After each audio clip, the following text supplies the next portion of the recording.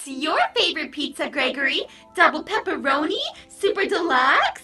I like Hawaiian pizza with lots of olives. Ew! Disgusting! Then again, that's bias coming from me because I literally eat trash.